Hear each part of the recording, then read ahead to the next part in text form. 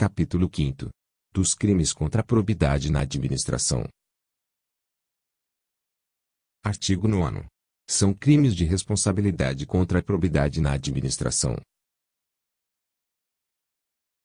Item 1. Omitir ou retardar dolosamente a publicação das leis e resoluções do Poder Legislativo ou dos atos do Poder Executivo. Item 2. Não prestar ao Congresso Nacional dentro de 60 dias após a abertura da sessão legislativa, as contas relativas ao exercício anterior.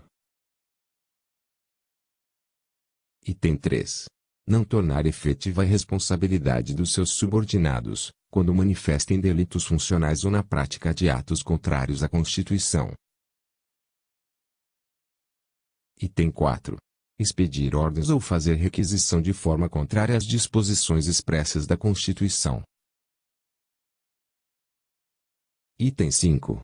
Infringir no provimento dos cargos públicos, as normas legais.